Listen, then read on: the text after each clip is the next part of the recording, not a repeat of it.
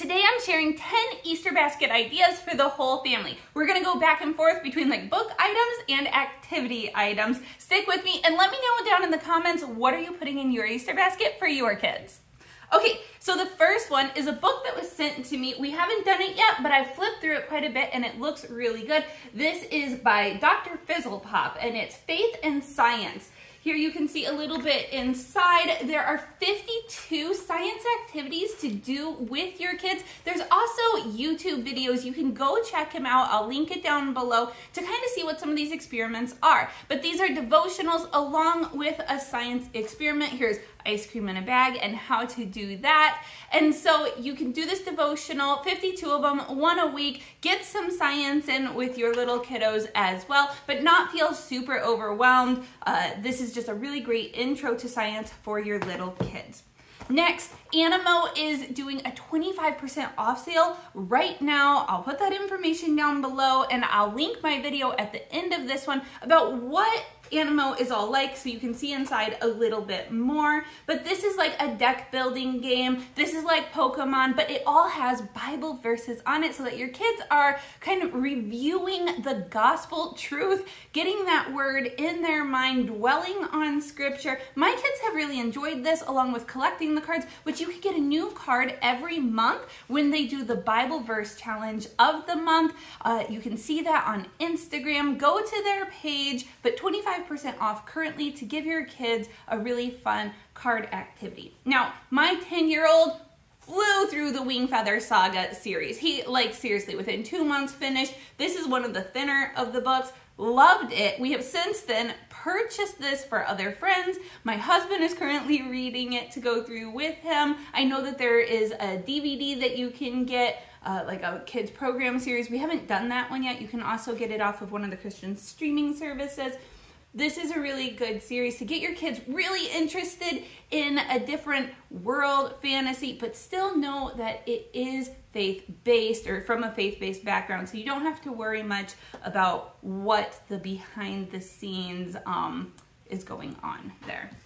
Now, Genius Games, I'm gonna have a haul video coming out of games that we got from Genius Games, but these two, great for the whole family. My six-year-old is able to play it along with us, even though I think it's recommended for 10 plus. He just sits, oh, eight plus. He sits beside me and we kind of go through it. If you've ever played Sushi Go before, it's very similar to that. You are passing the cards along, taking one along with you. We liked Coral Reef so much that was sent to me for review that I went on and ended up buying the Ecosystem one. Um, it's they've got beautiful cards. Your kids are going to build an ecosystem around them and see how all of the animals, the streams, all work together and then they collect points because each card gets points based on what it's like next to. We've really enjoyed this game, played it quite a bit, and uh, make sure you're subscribed so you see when I have the whole Genius Games review video ready for you.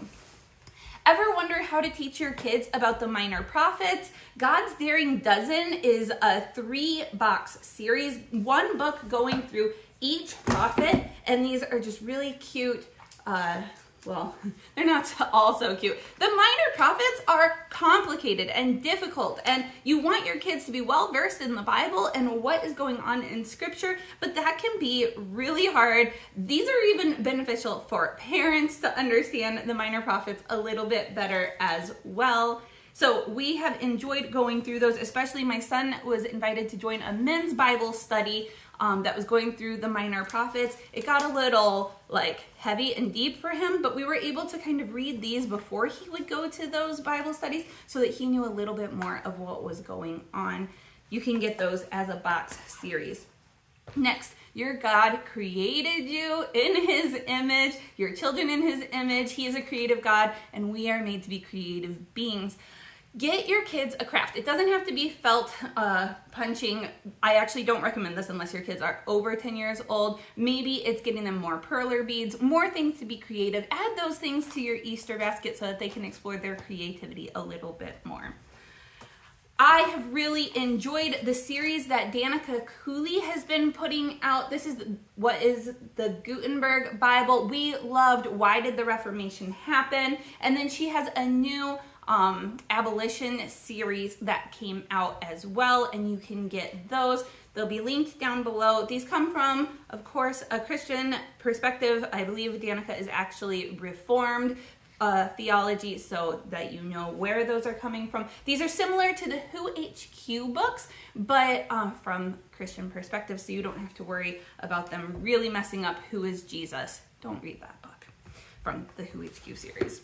Okay, next we are going to DC this summer, and so puzzles. This is actually a 3D puzzle. It just got here in the mail. We haven't done it yet, but if you know where you're going this summer, some things you're gonna be going on, you can help your kids get excited with that by just looking up some ways of learning more about that include it in their Easter basket. I'm excited about this 3D puzzle. It's 164 pieces and they'll be able to learn the map of DC and some of the national monuments that we'll be seeing and familiarizing with those ahead of time. These are available for all kinds of like national parks or places that you might be going. Look into some of those ideas for your kids as well.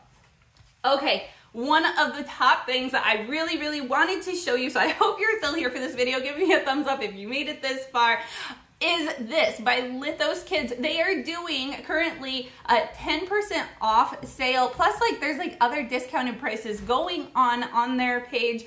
This Bible is beautiful for children. This one here is the Old Testament. It's easy to read, and when you get to the end of a chapter, it has discussion questions for you to be going through with your kids, a gospel glimpse, a prayer, um, going through some keywords throughout there as well. Now, I only have the Old Testament one here to show you because my six year old, when we got these, made me read the whole New Testament to him within a week. We had to sit down and read it. He just wanted to keep going. You could see on my Instagram page, I shared pictures of him like sleeping with this Bible because he liked it so much. It goes through what is baptism, what is communion, even not just as the Bible story, but what are they and why do we do them? What is the intent of them?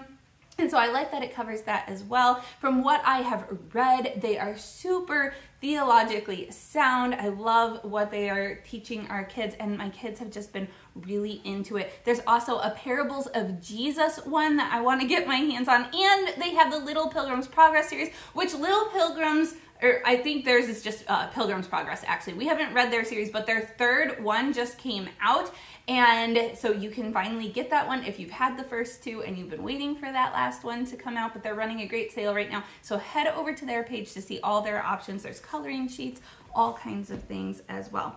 Okay, did we cover them all except for this last one? I believe so. So this is, and I said it was for the whole family. This is for you and your husband, mom.